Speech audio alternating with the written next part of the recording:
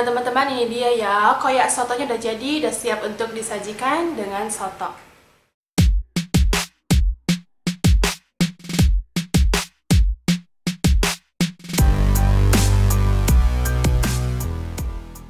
Hai semuanya, kali ini aku dapat kiriman kerupuk udang nih dari Mother Chance ya. Ini kerupuk udangnya natural banget ya, tanpa pengawet, tanpa MSG, tanpa pewarna. Pokoknya alami deh. Gurihnya tuh emang bener-bener dari udangnya. Nah kebetulan banget, hari ini aku bikin soto ayam guys.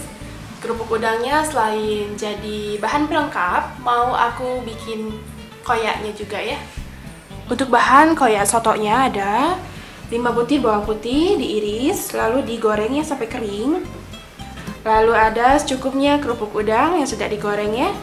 Aku pakai kerupuk udang dari Mother Chance ya. Ini kerupuk udangnya enak, natural banget, tanpa pengawet, tanpa pewarna, tanpa perasa buatan. Pokoknya alami banget deh. Love it.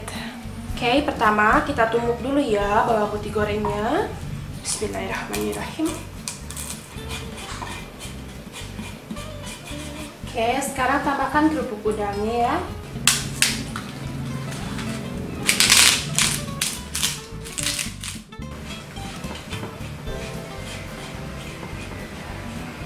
Oke, udah cukup, udah hancur ya. Dan teman-teman ini dia ya, koyak sotonya udah jadi, udah siap untuk disajikan dengan soto.